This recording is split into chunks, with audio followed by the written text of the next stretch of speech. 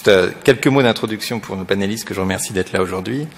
Euh, beaucoup d'entre vous se rappellent la couverture de The Economist en 2007, What France Needs, où Margaret Thatcher sortait d'un drapeau français.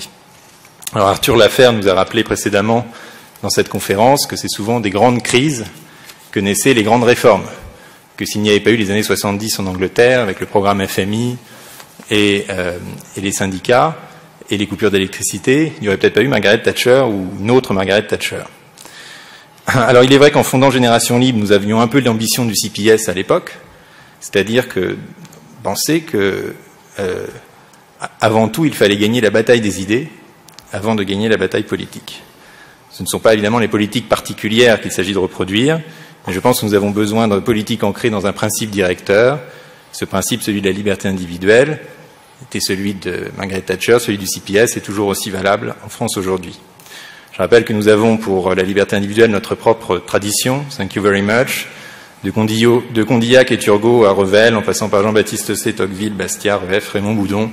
Nous avons nos propres penseurs libéraux et nous comptons bien les utiliser. C'est une tradition qui n'est pas si endormie aujourd'hui, puisque dans un récent sondage que nous avions fait, 57% des Français déclarent aimer le mot libéralisme et liberté est le mot euh, qu'ils préfèrent dans leur devise pour 48% d'entre eux.